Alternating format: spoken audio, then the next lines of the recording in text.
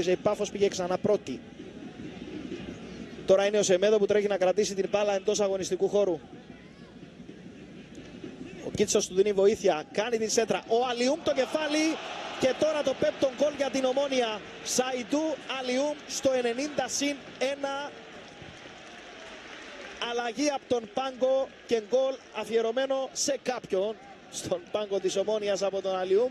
Στον εορτάζοντα Φράνσις Σουζόχ. Μάλιστα μας βοηθά και ο Ηλίας ο Πονηρός που έχει καλύτερη εικόνα. Πέμπτον γκολ της Ομόνιας στο 90 συν 1 από εκεί που έδειξε να δυσκολεύεται πάει να ολοκληρώσει με θρίαμβο το σημερινό παιχνίδι.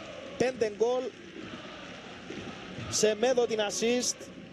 Εδώ είναι σε καθαρή θέση, καλυμμένος, καλυπτόμενος, συγχωρείτε, ο Αλιούμ.